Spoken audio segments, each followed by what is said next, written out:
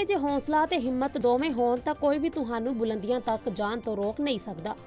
ਕੁਝ ਅਜਿਹਾ ਹੀ ਹੌਸਲਾ ਦਿਖਾਇਆ ਹੈ, ਜ਼ਿਲ੍ਹਾ ਹੁਸ਼ਿਆਰਪੁਰ ਦੇ ਪਿੰਡ ਬੱਸੀ ਗੁਲਾਮ ਹੁਸੈਨ ਦੇ ਰਹਿਣ ਵਾਲੇ ਕਰਨੈਲ ਸਿੰਘ ਨੇ। ਜੋ ਕਿ ਸਰੀਰਕ ਕਮੀ ਨੂੰ ਮਾਤ ਦਿੰਦੇ ਹੋਏ ਇੱਕ ਅਜਿਹੀ ਮਿਸਾਲ ਕਾਇਮ ਕਰ ਰਹੇ ਨੇ, ਜੋ ਕਿ ਹੋਰਾਂ ਦੀ ਵੀ ਹਿੰਮਤ ਨੂੰ ਵਧਾਉਂਦੀ ਹੈ। ਕਰਨੈਲ ਸਿੰਘ ਆਪਣੀ ਪੁਸ਼ਤੈਨੀ ਜ਼ਮੀਨ 3 ਏਕੜ ਦੇ ਵਿੱਚ ਖੇਤੀ ਕਰ ਆਪਣਾ ਤੇ ਆਪਣੇ ਪਰਿਵਾਰ ਦਾ ਪੇਟ ਪਾਲ ਰਹੇ ਨੇ। 18 ਮਈ 2018 ਨੂੰ ਇੱਕ ਸੜਕ ਹਾਦਸੇ ਦੇ ਵਿੱਚ ਕਰਨੈਲ ਸਿੰਘ ਦੀ ਰੀੜ ਦੀ ਹੱਡੀ ਦੇ ਮਣਕਿਆਂ ਤੇ ਸੱਟ ਲੱਗੀ ਸੀ। ਇਸੇ ਦੌਰਾਨ ਡਾਕਟਰ ਦੇ ਵੱਲੋਂ ਉਹਨਾਂ ਨੂੰ ਬੈੱਡ ਰੈਸਟ ਦੇ ਲਈ ਕਹਿ ਦਿੱਤਾ ਜਾਂਦਾ ਹੈ।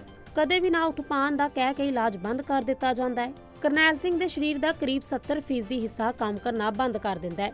ਜਿਸ ਤੋਂ ਬਾਅਦ ਕਰਨੈਲ ਸਿੰਘ ਨੇ ਹਿੰਮਤ ਨਹੀਂ ਹਾਰੀ ਅਤੇ ਉਹਨਾਂ ਨੇ ਆਪਣੇ ਇੱਕ ਟ੍ਰਾਈਸਾਈਕਲ ਦਾ ਪ੍ਰਬੰਧ ਕਰ ਖੇਤਾਂ ਦੇ ਵਿੱਚ ਜਾਣਾ ਸ਼ੁਰੂ ਕਰ ਦਿੱਤਾ। ਕਰਨੈਲ ਸਿੰਘ ਨੇ ਜਦ ਇਹ ਕਦਮ ਚੱਕਿਆ ਸੀ ਤਾਂ ਉਹਨਾਂ ਨੇ ਸੋਚ ਲਿਆ ਸੀ ਕਿ ਹੁਣ ਉਹ ਪਿੱਛੇ ਮੁੜ ਕੇ ਨਹੀਂ ਦੇਖਣਗੇ। ਖੇਤਾਂ ਦੇ ਵਿੱਚ ਉਹ ਪਹਿਲਾਂ ਵਾਂਗ ਹੀ ਮਜ਼ਦੂਰਾਂ ਤੋਂ ਕੰਮ ਕਰਵਾਉਣ ਲੱਗ ਪਏ।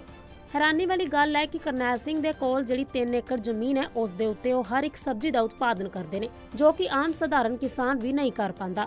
ਆਪਣੇ ਪਸ਼ੂਆਂ ਦੇ ਚਾਰੇ ਦੇ ਲਈ ਵੀ ਉਹ ਕੁਦਰਤੀ ਖੇਤੀ ਦਾ ਹੀ ਇਸਤੇਮਾਲ ਕਰਦੇ ਨੇ। ਕਰਨੈਲ ਸਿੰਘ ਦੇ ਮੁਤਾਬਕ ਜੋ ਉਹਨਾਂ ਦੇ ਨਾਲ ਹੋਇਆ ਹੈ, ਭਗਵਾਨ ਕਿਸੇ ਦੇ ਨਾਲ ਵੀ ਨਾ ਕਰੇ। ਆ ਤੁਹਾਨੂੰ ਮਿਲਾਨੇ ਆ ਇਸ ਬਹਾਦਰ ਕਿਸਾਨ ਕਰਨੈਲ ਸਿੰਘ ਦੇ ਨਾਲ। ਮੈਂ ਇਸ ਤੋਂ, ਸੱਟ ਤੋਂ ਪਹਿਲਾਂ ਵੀ ਆਰਗੈਨਿਕ ਖੇਤੀ ਕਰਦਾ ਸੀਗਾ। ਮੈਂ ਇਨੋਵੇਟਿਵ ਫਾਰਮ ਐਸੋਸੀਏਸ਼ਨ ਦਾ ਮੈਂਬਰ ਹੈਗਾ ਆ ਹੁਸ਼ਿਆਰਪੁਰ 'ਚ ਈਫਾ ਕਹਿੰਦੇ, ਈਫਾ ਨਾਂ ਦੀ ਇੱਕ ਸੰਸਥਾ ਹੈਗੀ ਆ, ਜਿਹਨਾਂ ਨੂੰ ਕਿਸਾਨ ਹੱਟ ਮਿਲੀ ਹੈਗੀ ਆ, ਖੇਤੀਬਾੜੀ ਭਵਨ ਦੇ ਅੱਗੇ ਕਿਸਾਨ ਹੱਟ ਬਣੀ ਹੋਈ ਆ। ਮੇਰੀ ਸਬਜ਼ੀ ਉੱਥੇ ਜਾਂਦੀ ਸੀ। ਤੇ ਉੱਥੋਂ ਜਿਹਨੂੰ ਜ਼ਰੂਰਤ ਹੈ ਆਰਗੈਨਿਕ ਚੀਜ਼, ਯਾਨੀ ਜ਼ਹਿਰ ਮੁਕਤ ਸਬਜ਼ੀ ਤੋਂ ਲਿਆਉਂਦੇ ਸੀ। ਤੇ ਮੈਂ ਵੀ ਉੱਥੇ ਦਿੰਦਾ ਸੀਗਾ। ਤੇ ਮੁੜ ਕੇ ਮੈਂ ਫੇਰ ਸ਼ੁਰੂ ਹੁਣ ਉੱਥੇ ਹੀ ਦਿੰਦਾ ਹੈਗਾ। ਤੇ ਕੁਝ ਕਸਟਮਰ ਸ਼ਹਿਰੋਂ ਜਿਹੜੇ ਚਾਹਵਾਨ ਹੈਗੇ ਵੀ ਅਸੀਂ ਜ਼ਹਿਰ ਜ਼ਹਿਰ ਚੀਜ਼ਾਂ ਨਾ ਖਾਈਏ, ਉਹ ਮੇਰੇ ਕੋਲ ਖੇਚਵਾ ਕੇ ਲੈ ਜਾਂਦੇ ਹੈਗੇ ਆ। ਤੇ ਪਿੰਡ ਵਾਲੇ ਵੀ ਲੈਂਦੇ ਹੈਗੇ ਆ। ਤੇ ਕਿੰਨੀ ਖੇਤੀ ਕਰਦੇ? ਮੇਰੇ ਕੋਲ 25 ਕਨਾਲ ਜ਼ਮੀਨ ਹੈਗੀ ਆ ਜੀ ਜੇ ਚੋਂ ਪਸ਼ੂ ਵੀ ਰੱਖੇ ਹੈਗੇ ਪੰਜ ਪੰਜ ਛੇ ਪਸ਼ੂ ਹੈਗੇ ਆ। ਉਹਨਾਂ ਲਈ ਪ- ਚਾਰਾ ਬੀਜਿਆ ਆ ਤੇ ਇੱਕ ਏਕੜ 'ਚ ਉਹਨਾਂ ਲਈ ਬੀਜਿਆ ਆ ਬਾਕੀ 2 ਏਕੜ 'ਚ ਮੈਂ ਖੇਤੀ ਆਪਣੀ ਸਬਜ਼ੀਆਂ ਦੀ ਕਰਦਾ ਹਾਂ। ਅਹ ਜਿਵੇਂ ਕਿ ਸਰ ਦੇਖੋ ਮੈਂ ਬਹੁਤ ਛੋਟਾ ਜ਼ਿਮੀਂਦਾਰ ਹੈਗਾ। ਬਾਕੀ ਜੇ ਤੁਸੀਂ ਵੱਡੇ ਵੱਡੇ ਜ਼ਿਮੀਂਦਾਰ ਲਾਓ ਜਿੱਦਾਂ 500 ਕਿੱਲਾ 100 ਕਿੱਲਾ ਉਹ ਵੀ ਖੇਤ 'ਚ ਆਪ ਤਾਂ ਕੰਮ ਨਹੀਂ ਕਰਦੇ। ਉਹ ਮੈਨੇਜ ਹੀ ਕਰਦੇ ਆ ਨਾ। ਜੇ ਮੈਂ ਸੋਚੇ ਉਹ ਮੈਨੇਜ ਕਰ ਸਕਦਾ ਤਾਂ ਮੈਂ ਵੀ ਬ- ਮੇਰਾ ਖੇਤ ਮੈਂ ਖੇਤ ਤੱਕ ਪਹੁੰਚ ਸਕਦਾ ਮੈਂ ਵੀ ਮੈਨੇਜ ਕਰ ਸਕਦਾ। ਲੇਬਰ ਹੈਗੀ ਆ ਰੱਬ ਨੇ ਨੌਲੇਜ ਦਿੱਤੀ ਹੈਗੀ ਹੈ ਦਿਮਾਗ ਦਿੱਤਾ ਹੈਗਾ ਕਿਉਂ? ਕੋਈ ਵੀ ਕੰਮ ਕਰਨਾ ਸਰੀਰ ਨਹੀਂ ਚੱਲਦਾ ਕੋਈ ਗੱਲ ਨੀ, ਸਾਡਾ ਦਿਮਾਗ ਤਾਂ ਚੱਲਦਾ ਨਾ। ਤੇ ਉਹਦੇ ਨਾਲ ਮੈਂ ਲੇਬਰ ਨੂੰ ਆਪਣੇ ਨੂੰ ਦੱਸ ਦੇਣਾ ਵੀ ਇਹਨੂੰ ਇਦਾਂ ਕਰੋ ਤੇ ਇਹਨੂੰ ਇਦਾਂ ਕਰੋ ਬੜਾ ਕੰਮ ਹੋ ਜਾਂਦਾ ਵਧੀਆ ਹੋ ਜਾਂਦਾ। ਕਿਸੇ ਕਿਸਮ ਦੀ ਕੋਈ ਪ੍ਰੋਬਲਮ ਆਂਦੀ ਹੋਵੇ? ਹਾਂ ਪ੍ਰੋਬਲਮ ਥੋੜੀ ਆਉਂਦੀ ਜਦੋਂ ਨਹੀਂ ਪਤਾ ਲੱਗਦਾ ਫਿਰ ਮੈਨੂੰ ਹੁੰਦਾ ਵੀ ਮੈਂ ਜਿਹੜੇ ਕੰਮ ਇਹ 2 ਘੰਟੇ ਕਰਦਾ ਮੈਂ ਅੱਧੇ ਘੰਟੇ ਕਰ ਲੈਣਾ ਫਿਰ ਸੋਚ ਲਿਆ ਚਲੋ ਕੋਈ ਗੱਲ ਨਹੀਂ ਜੋ ਪ੍ਰਮਾਤਮਾ ਜੋ ਜਿੱਥੇ ਰੱਖਿਆ ਉੱਥੇ ਰਹਿਣਾ ਪੈਣਾ ਬੰਦੇ ਨੂੰ। ਸਾਲ 6 ਬੈਠ ਤੇ ਰਹਿਣਾ ਮੈਂ ਕਦੀ ਵੀ ਪ੍ਰਮਾਤਮਾ ਦੀ ਕਿਰਪਾ ਰਹੀ ਆ ਵੀ ਜੋ ਉਹਦੇ ਭਾਣੇ ਮਿੱਠਾ ਬਣ ਕੇ ਮੰਨਿਆ, ਜੋ ਕੀਤਾ ਉਹਨੇ ਚੰਗਾ ਕੀਤਾ। ਇਹ ਨਹੀਂ ਕਿ ਵੀ ਸੱਟ ਲਾਤੀ ਆ। ਚਲੋ ਮੈਂ ਕਹਿੰਦਾ ਵੀ ਬਹੁਤ ਚੰਗਾ ਕੀਤਾ, ਮੇਰੀ ਜਾਨ ਬਖਸ਼ੀ ਆ। ਜਿਹੜਾ ਬੰਦਾ ਕਹਿੰਦਾ ਮੈਨੂੰ ਰੱਬ ਨੇ ਆਹ ਲੱਤ ਤੋੜਦੀ ਬਾਹ ਤੋੜਦੀ ਇਦਾਂ ਹੋ ਗਿਆ, ਰੱਬ ਦਾ ਕੋਈ ਕਸੂਰ ਨਹੀਂ ਉਹ ਚ। ਬੰਦੇ ਦਾ ਆਪਣਾ ਹੀ ਹੈਗਾ, ਆਪਣੇ ਕਰਮਾਂ ਦਾ ਖੇਡ ਹੈਗਾ। ਜਿਹੜਾ ਬੰਦਾ ਮੈਂ ਯਾਦ ਦੁਖੀ ਹੈ ਨਾ ਕੋਈ ਵੱਡੇ ਹਸਪੀਟਲ ਡੀਐਮਸੀ ਬਾਰੇ ਜਾ ਕੇ ਦੇਖੋ, ਤੁਹਾਡੇ ਤੋਂ ਕਿੰਨੇ ਦੁਖੀ ਪਏ ਉੱਥੇ, ਜਿਹੜੇ ਕੋਮਾ 'ਚ ਪਏ ਆ। ਉਹ ਤੋਂ ਰੱਬ ਨੇ ਵਧੀਆ ਕੀਤਾ ਅਸੀਂ ਵਧੀਆ ਹੈਗੇ ਆ ਬੋਲਦੇ ਚੱਲਦੇ ਆ ਕੰਮ ਕਰ ਸਕਦੇ ਆ ਦਿਮਾਗ ਨਾਲ ਆਪਣੇ ਨਾਲ ਹੱਥ ਪੈਰ 'ਚ ਹੱਥ ਚੱਲਦੇ ਪੈਰ ਨਹੀਂ ਚੱਲਦੇ ਕੰਮ ਸਕਦੇ ਆ। ਦਿਮਾਗ ਸਾਡਾ ਸਹੀ ਆ ਤਾਂ ਤੁਸੀਂ ਸਭ ਕੁਝ ਕਰ ਸਕਦੇ ਆ। ਸੁੱਧ ਬੁੱਧ ਸਾਡੀ ਸਹੀ ਰੱਬ ਨੇ ਸਾਨੂੰ ਸੁੱਧ ਬੁੱਧ ਚੰਗੀ ਦਿੱਤੀ ਆ। ਤੇ ਕਈ ਵੀ ਤੁਸੀਂ ਉਦਾਂ ਵੀ ਦੇਖਦੇ ਆ ਸੰਸਾਰ 'ਚ ਕਈ ਹੱਥ ਪੈਰ ਹੈ ਨਹੀਂ ਉਹ ਦਿਮਾਗ ਦੇ ਨਾਲ ਕੰਮ ਕਰੀ ਜਾਂਦੇ ਬੜੇ ਵਧੀਆ ਕਰੀ ਜਾਂਦੇ ਆ। ਮੈਂ ਪਰਮਾਤਮਾ ਦੀ ਕਿਰਪਾ ਮੈਂ ਕਿਸੇ ਨੂੰ ਘੱਟ ਨਹੀਂ ਸਮਝਦਾ ਆਪਣੇ ਆਪ ਨੂੰ ਲੱਤਾਂ ਨਹੀਂ ਚੱਲਦੀ ਕੋਈ ਗੱਲ ਨੋ ਪ੍ਰੋਬਲਮ ਪਰ ਦਿਮਾਗ ਚੱਲਦਾ ਹੱਥ ਚੱਲਦੇ ਆ।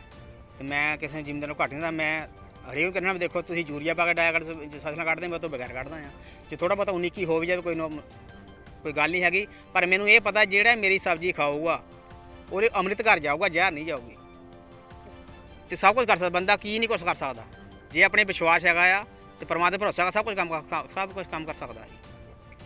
ਟਾਈਮ ਇੰਜ ਦਾ ਆ ਗਿਆ ਸੀ ਕਿ ਮੈਂ ਦੇਖਿਆ ਸੀ, ਜਿਹੜਾ ਸਭ ਤੋਂ ਨਲਾਇਕ ਮੁੰਡਾ ਹੁੰਦਾ ਸੀ ਘਰ, ਉਹਨੂੰ ਕਹਿੰਦੇ ਸੀ, ਇਹਨੂੰ ਕਿਸਾਨ ਬਣਾ ਦਿਓ। ਕਿਉਂ ਇਹਦੇ ਕੋਲ ਹੋਰ ਕੁਝ ਨਹੀਂ ਹੋਣਾ, ਹਨਾ? ਉਹ ਬਹੁਤ ਗਲਤ ਗੱਲ ਹੈ। ਜਿਹੜਾ ਸਭ ਤੋਂ ਇੰਪੋਰਟੈਂਟ ਚੀਜ਼ ਹੈ ਸਾਡਾ ਖਾਣਾ, ਉਹ ਤੁਸੀਂ ਸਭ ਤੋਂ ਨਲਾਇਕ ਇਨਸਾਨ ਤੇ ਛੱਡੋਗੇ ਤੇ ਗਲਤ ਕੰਮ ਹੈ ਨਾ। ਤੇ ਇਹਦੇ ਵਿੱਚ ਕੀ ਹੈ, ਸਾਨੂੰ ਥੋੜਾ ਇੰਟੈਲੀਜੈਂਟ ਬੰਦੇ ਚਾਹੀਦੇ ਜਿਹੜਾ ਥੋੜਾ ਦਿਮਾਗ ਲਗਾ ਕੇ ਕੰਮ ਕਰੇ, ਹੈ? ਦਿਮਾਗ ਲਗਾਉਣ ਦਾ ਇਹ ਮਤਲਬ ਨਹੀਂ ਤੁਸੀਂ ਬਾਹਰੋਂ ਕੈਮੀਕਲ ਪਾਓ। ਦਿਮਾਗ ਲਗਾਉਣ ਦਾ ਇਹ ਮਤਲਬ ਹੈ ਕਿ ਤੁਸੀਂ ਸੋਚੋ ਕਿ ਬਈ ਫਸਲ ਨੂੰ ਕੀ ਤਕਲੀਫ ਆ ਰਹੀ ਹੈ, ਕੀ ਕਰ ਸਕਦੇ ਹੋ, ਉਹ ਦਵਾਈ ਕੀ ਕਰਦੀ ਹੈ, ਪਰ ਉਹ ਦਵਾਈ ਨਾ ਪਾਓ ਉਸ ਤੋਂ ਇਲਾਵਾ ਕੀ ਅਸੀਂ ਕਰ ਸਕਦੇ ਹਾਂ ਉਹਨੂੰ ਬਚਾਉਣ ਵਾਸਤੇ? ਬਸ ਉਹ ਕਰਕੇ ਫਿਰ ਅਸੀਂ ਵਾਪਸ ਆਪਣੀ ਮਤਲਬ ਕਹਿ ਲਓ ਧਰਤੀ ਮਾਂ ਨਾਲ ਜੁੜਨਾ ਚਾਹੁੰਦੇ ਸੀ ਤੇ ਅਸੀਂ ਵਾਪਸ ਪੰਜਾਬ ਆਏ ਤੇ ਆਪਣਾ ਇੱਥੇ ਮੁਸਤਾਪੁਰ ਕਰਕੇ ਪਿੰਡ ਹੈ ਹੁਸ਼ਿਆਰਪੁਰ ਦੇ ਕੋਲ। ਇੱਥੇ ਸਾਨੂੰ ਅੱਛੀ ਜ਼ਰਾ ਜ਼ਮੀਨਾਂ ਮਿਲ ਗਈ ਤੇ ਉਹ ਕਰ ਅਸੀਂ ਫਿਰ ਇੱਥੇ ਸੈੱਟ ਕੀਤਾ। ਵੇਲੇ ਕਿੰਨੀ ਆ ਸਾਡੀ ਹੈ ਜੀ ਪੌਣੇ 12 ਕਿੱਲੇ ਹੈ ਤੇ ਉਹ ਉੱਥੇ ਅਸੀਂ ਸ਼ੁਰੂ ਕੀਤਾ ਹੈ ਪੂਰਾ ਕੰਮ। ਤੇ ਪੂਰੀ ਨੈਚੁਰਲ ਖੇਤੀ ਹੈ ਜੀ ਆਰਗੇਨਿਕ ਪਲੱਸ ਕਹਾਂਗਾ ਮੈਂ ਇਹਨੂੰ। ਆਰਗੇਨਿਕ ਤੋਂ ਵੀ ਵੱਧ ਹੈ। ਮੰਡੀਕਰਨ ਦੇ ਵਿੱਚ ਮੰਡੀਕਰਨ ਤੇ ਅਸੀਂ ਕਰਦੇ ਹੀ ਨਹੀਂ ਹੈ। ਮੰਡੀਕਰਨ ਕਰਨਾ ਤੇ ਮਤਲਬ ਸਭ ਤੋਂ ਲਾਸਟ ਆਲਟਰਨੇਟਿਵ ਅਸੀਂ ਸੋਚਦੇ ਹਾਂ ਕਿ ਜੇ ਕੁਝ ਨਹੀਂ ਹੋ ਰਿਹਾ ਤੇ ਚਲੋ ਮੰਡੀ ਲੈ ਜਾਓ। ਅਸੀਂ ਟਰਾਈ ਕਰਦੇ ਹਾਂ ਕਿ ਡਾਇਰੈਕਟ ਕਸਟਮਰ ਨੂੰ ਵੇਚੋ। ਤੇ ਉਹ ਡਾਇਰੈਕਟ ਕਸਟਮਰ ਨੂੰ ਅਸੀਂ ਇੱਕ ਹੋਰ ਬੜੀ ਇੰਪੋਰਟੈਂਟ ਗੱਲ ਹੈ ਕਸਟਮਰ ਦਾ ਸ਼ੋਸ਼ਣ ਨਹੀਂ ਕਰਨਾ। ਨਾ ਨਾ ਨਾ ਬਿਲਕੁਲ ਨਹੀਂ ਜੀ। ਕਿਸਾਨੀ ਮੇਰੇ ਹਿਸਾਬ ਨਾਲ ਲਾਸਟ ਜਿਹੜਾ ਲੀਗਲ ਮੈਥਡ ਹੈ ਤੁਸੀਂ ਪੈਸੇ ਨੂੰ ਡਬਲ ਕਰਨ ਵਾਸਤੇ। ਬਾਕੀ ਕੋਈ ਤੁਹਾਨੂੰ ਆ ਕੇ ਕਹਿ ਰਿਹਾ ਨਾ, ਤੁਹਾਡੇ ਪੈਸੇ ਡਬਲ ਕਰ ਦਾਂਗੇ। ਤੁਸੀਂ ਧਿਆਨ ਨਾਲ ਦੇਖੋ ਕਿ ਇਲੀਗਲ ਕਿੱਥੇ ਹੋ ਰਿਹਾ। ਕਿਸਾਨੀ ਵਿੱਚ ਉਹ ਬਿਲਕੁਲ ਮੁਮਕਿਨ ਹੈ। ਹੁਸ਼ਿਆਰਪੁਰ ਤੋਂ ਅਸ਼ਵਨੀ ਕੁਮਾਰ ਦੀ ਸਪੈਸ਼ਲ ਰਿਪੋਰਟ ਦੇ ਨਾਲ ਬਿਊਰੋ ਰਿਪੋਰਟ ਦਾ ਟੀਵੀ ਐਨਆਰਆਈ